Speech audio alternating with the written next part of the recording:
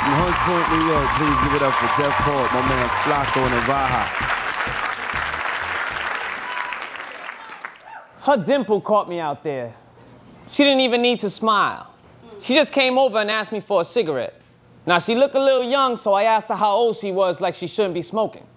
She said 22. I was 19. I gave it a whole pack. And now, six years, three million arguments, and a couple of fuck you, I don't know what I'm doing with yous later, we're still here. Still in love. At least I am. Shit, I hope she is too, because if I'm writing this for her and she's not, that's fucked up, right? my lady could go from my best friend to my mother in one breath. She scolds me when I don't do the dishes, holds me when the world spits in my eye, and when the words refuse to stick to the page, she brings me a cigarette, takes the pen and pad away, kisses my forehead, and tells me it'll be okay.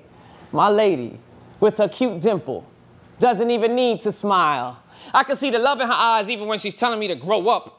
Take life serious, pay the bills on time. She's quick to pull my card, but check herself when she's wrong. She's the Cheech to my Chong. Knew me before my hair was long, and I know I'm up here sounding like a sucker. But it took me six years, three million arguments, and a couple of fuck you, I don't know what I'm doing with yous to learn how to appreciate her.